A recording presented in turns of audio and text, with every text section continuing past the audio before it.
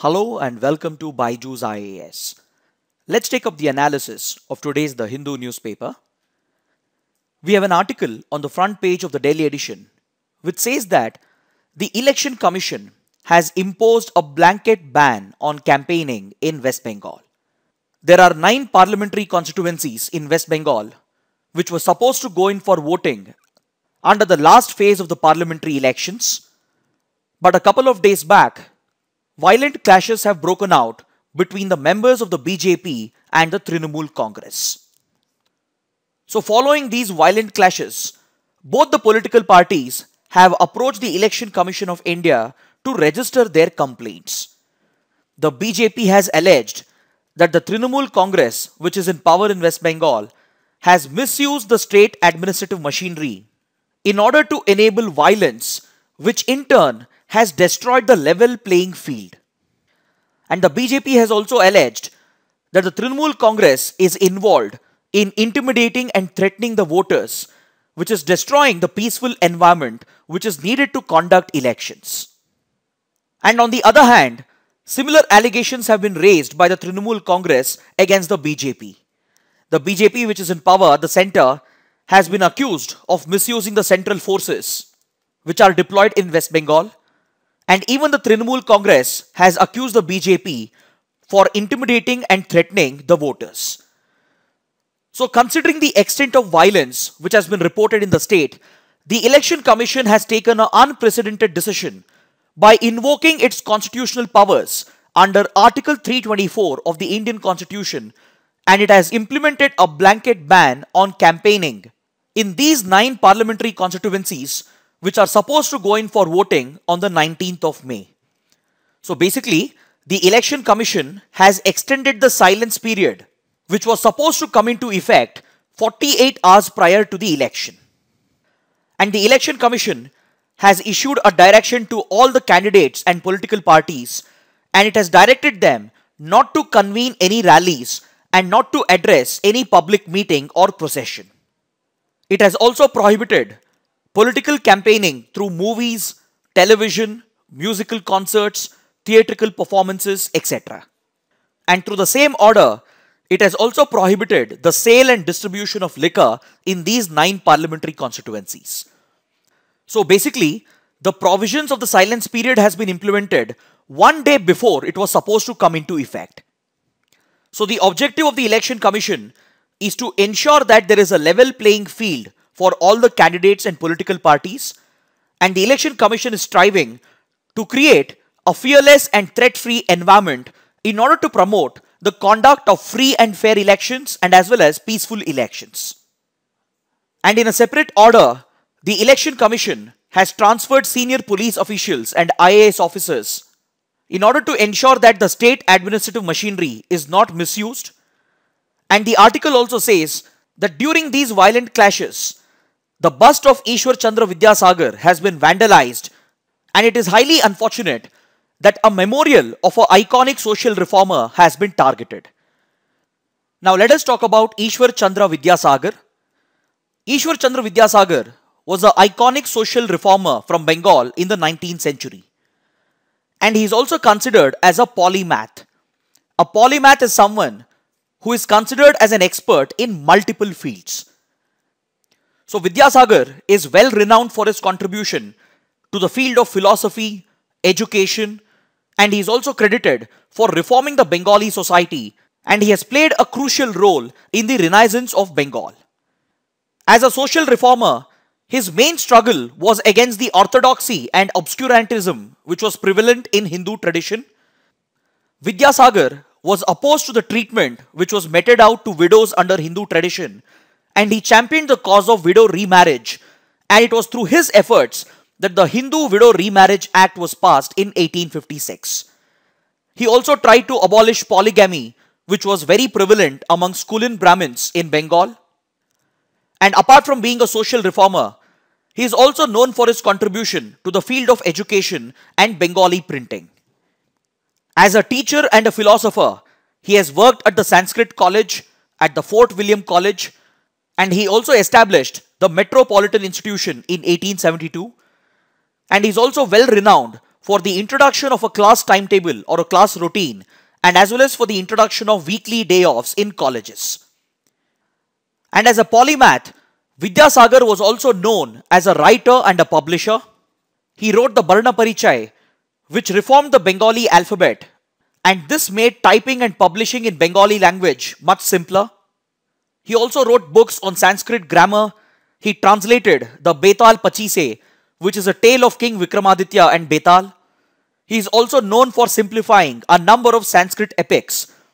And he even translated popular historical texts and as well as biographies. He also adapted William Shakespeare's The Comedy of Errors into Bengali. And as a publisher, he is known for his role in modernizing the Bengali print house practice. Now let's take up the next article. The IMD has come out with its forecast for the Indian monsoons. Yesterday we discussed the forecast provided by Skymet.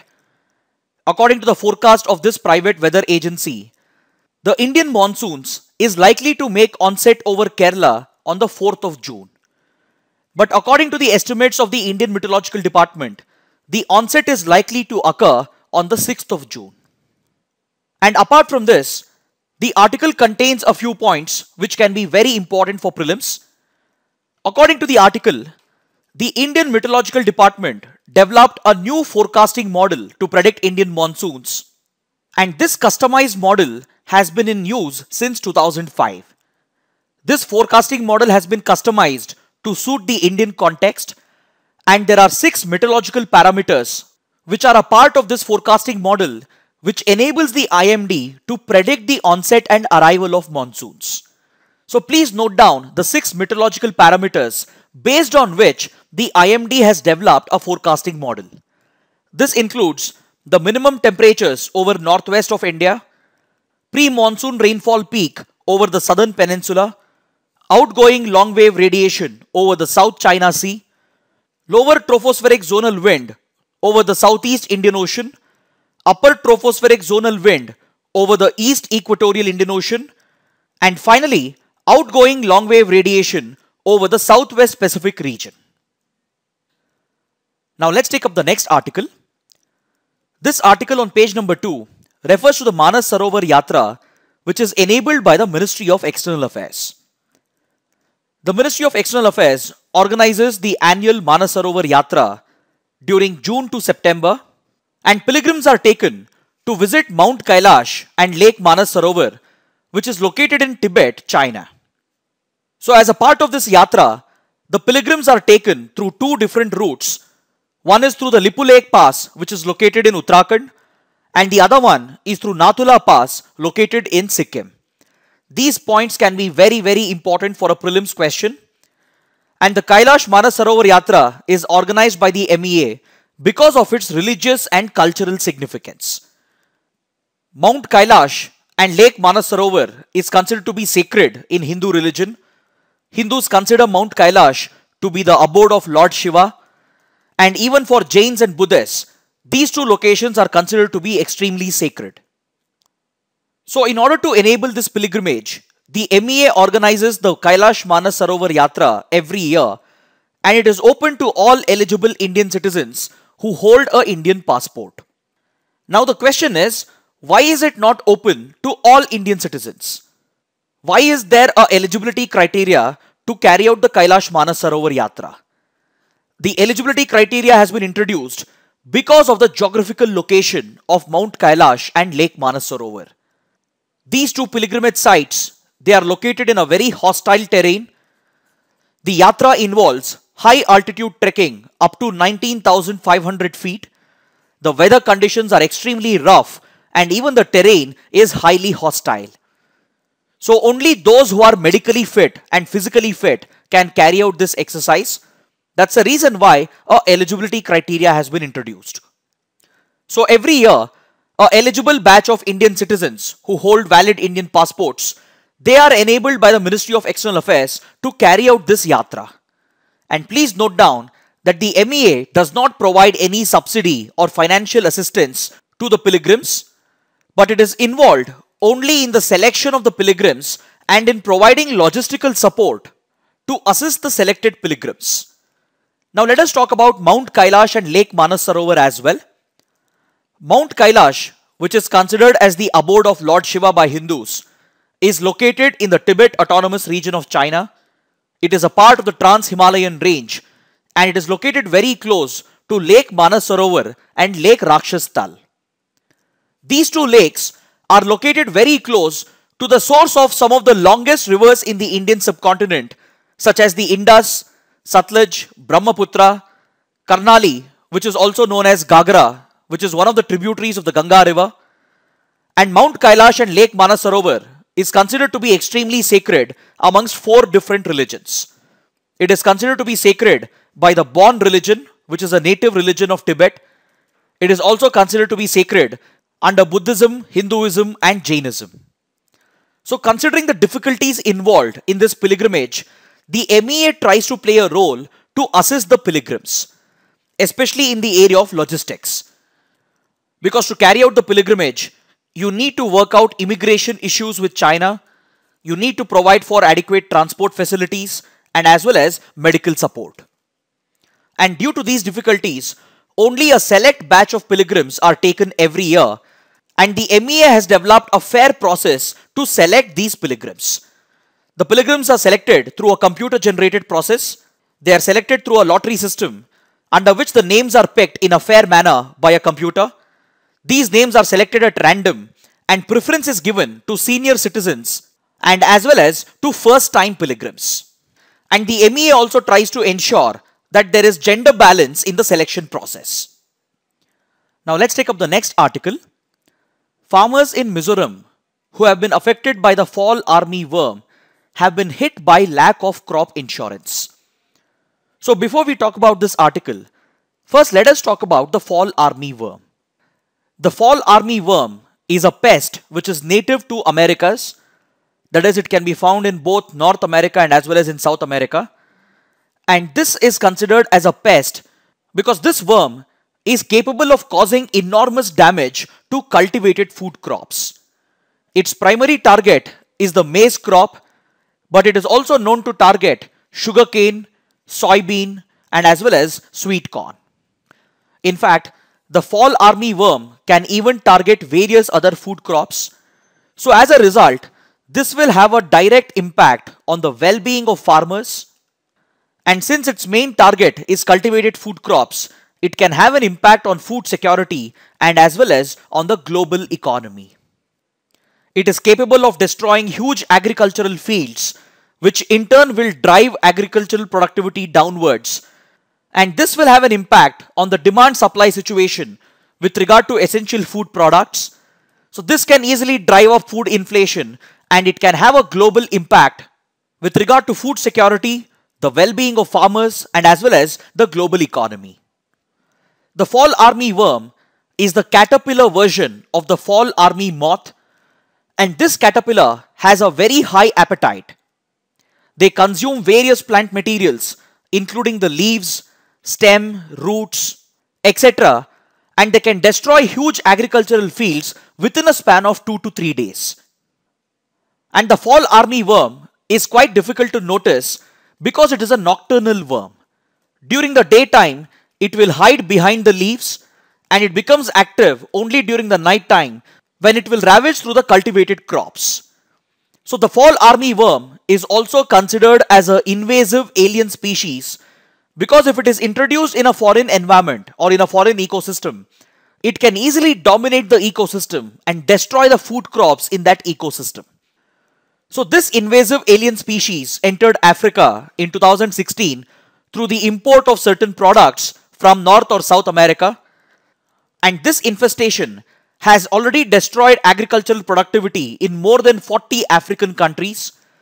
And this infestation has also spread to Asia from 2018 onwards. Even India has reported a major infestation of the fall army worm and initially it was reported in the state of Karnataka. From Karnataka, it has rapidly spread to all the South Indian states it has spread to the eastern states of India as well. And recently, it has entered the northeastern states of India. And even in India, maize is a very important cereal. And in fact, it is the third largest cereal which is cultivated after rice and wheat. So if such an important food crop is targeted by such a large scale infestation, it will definitely have a major impact on food productivity, on food inflation, and more importantly, on the well-being of farmers. So this article refers to the impact of fall armyworm infestation in the state of Mizoram. The maize farmers have been severely hit by the infestation of this pest and the farmers have incurred severe losses because of crop failure and right now their socio-economic stability is under threat. So this reminds us of the rat-induced famine which was witnessed in Mizoram in 1960s which laid the foundation for insurgency in the state of Mizoram. This rat-induced famine is also referred to as the Mautam famine. This can come as a prelims question. Mautam basically refers to a cyclical ecological phenomena which occurs once in every 48 to 50 years and it is noticed in the state of Manipur and as well as in Mizoram. Bamboo is widely found in both Manipur and Mizoram and during this cyclical ecological phenomena known as Mautam, the bamboo will start flowering. The Mautam season basically refers to the flowering of the bamboo plants. So when bamboo flowers, it will result in the dropping of a number of seeds which will immediately drive an exponential increase in the rat population. Because the rats, they will start consuming these seeds and under these favorable conditions, the rat population will explode. But after the flowering season ends, these rats, they will not find sufficient food and as a result, they will start targeting the agricultural crops and the food stocks which are stored. So the Mautam season, which took place in the 1960s, triggered a rat-induced famine in Mizoram, which became one of the root causes behind insurgency in the state. So right now, the fall army worm is also having a very huge impact on the farmers of Mizoram, but unfortunately, they are not able to avail any crop insurance. This is because the Pradhan Mantri Fasal Bima Yojana, which was launched in 2016, has still not been implemented in the state of Mizoram. The Pradhan Mantri Fasal Bima Yojana was designed to provide compensation and insurance to deal with crop failures. And all these events of crop failure is covered under the Pradhan Mantri Fasal Bima Yojana. But the problem is the private insurance players, they have not shown enough interest to take part in this scheme in the state of Mizoram. Because in Mizoram, agricultural productivity is very low. Most of the farmers have small land holdings and land holdings is highly fragmented in the state. So as a result, the farmers are not economically well off and they do not present a viable market for the insurance players. The private insurance players who need to implement the Pradhan Mantri Fasal Bima Yojana do not see farmers in Mizoram as a potential market. So as a result, the program has not taken off and right now this is having an impact on the farmers who have been affected by the fall army worm. So in this context, the Mizoram government has approached the central government and it is trying to seek assistance from the center and as well as from various NGOs in order to ensure the implementation of Pradhan Mantri Fasal Bima Yojana. Now let's take up the next article. The government of India has approved the appointment of officers to head the specialized tri-services divisions which were established last year. Last year, the Cabinet Committee on Security approved the creation of three specialized tri-service divisions in order to deal with the emergence of new threats in the field of combat. The Cabinet Committee on Security approved the establishment of the Special Operations Division, the Defense Cyber Agency, and the Defense Space Agency. These are referred to as tri-service divisions because they draw from each of the commands of the Indian Armed Forces that is from the Indian Army, the Navy and the Air Force. The Special Operations Division will bring all the special forces of the Indian Armed Forces under one single division in order to build greater synergy. So this will include the Para SF which currently is under the Indian Army. It also includes the Marcos or the Marine Commandos of the Indian Navy and it will also bring the Garud Commandos of the Indian Air Force under one single Special Operations Division. This will improve India's ability to carry out special operations such as targeted strikes against terror camps, covert operations behind enemy lines during conflict, etc. And the Defense Cyber Agency has been established to deal with the emergence of cyber threats and cyber warfare. This division will develop both offensive and defensive cyber weapons to prepare India for the future of cyber warfare. Then we have the Defense Space Agency to protect India's space-based assets. And if required, it can also carry out offensive operations against the space-based assets of other countries. For example, recently, India carried out an anti-satellite test under Mission Shakti. So the responsibility of all such space weapons and space-based warfare will come under the Defense Space Agency. And the government has already announced that the Defense Space Agency will be headquartered out of Bengaluru. And yesterday, the government has appointed two star officers from the three services to head these specialized divisions. The Special Operations Division will be headed by a two star officer from the Indian Army. The Defense Cyber Agency will be headed by a two star officer from the Indian Navy. And the Defense Space Agency will be headed by a two star officer from the Indian Air Force. Now, before we take up the practice questions, we have a correction with regard to yesterday's map-based question. Yesterday we had asked, which of the following countries are located to the north and south of Strait of Hormuz, respectively? The answer was incorrectly given as Iran and UAE, so we regret this factual error. The correct answer is option A, Iran and Oman, because Oman has a small exclave located to the south of Strait of Hormuz. Now let us take up the practice questions for today. Which of the following is not a special force of India? The correct answer is option D, ITBP. ITBP is a central armed police force under the Ministry of Home Affairs. It is not a special force. It is just a border guarding force. Whereas the Special Frontier Force is a special force under the Research and Analysis Wing, which is India's external intelligence agency. Marcos and Garud are the special forces of the Navy and the Indian Air Force, respectively. Now let's take up the second question. This phenomena occurs on two days in a year as the sun traces its path to the Tropic of Cancer and then retraces its path towards the south. It occurs when the sun is exactly overhead at around noon and the shadows formed by objects nearly disappears. What is this day known as? The correct answer is option B, zero shadow day. Now let's take up the third question. Which of the following statements is or are correct? The fall army worm is nocturnal, invasive and endemic. It can be eliminated only by chemical pesticides. Both the statements are wrong because the fall army worm is no longer endemic and limited to North America and South America. It has spread across the world and it can be eliminated by both chemical pesticides and as well as by organic pesticides. So option D is the correct answer. Now let's take up a map-based question. Which of the following statements are correct? The Nathula Pass connects Sikkim with Tibet through the Chumbi Valley. The Teesta River flows to the west of Nathula Pass. Both the statements are correct, so option C is the correct answer. Please look at the map. This is where Nathula Pass is located. It connects Sikkim with Tibet through the Chumbi Valley.